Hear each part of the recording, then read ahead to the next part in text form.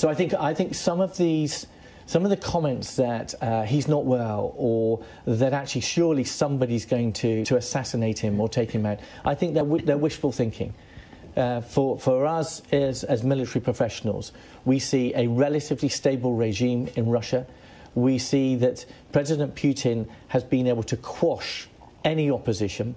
And then we see a hierarchy that is invested in President Putin.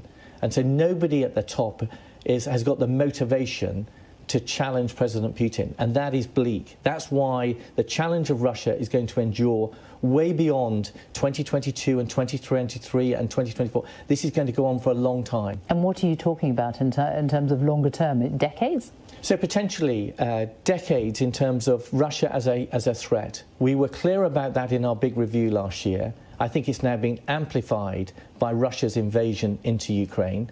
And then you're seeing the response. You're seeing the response by the international community, whether that's the G7. You're seeing the military response with the NATO summit.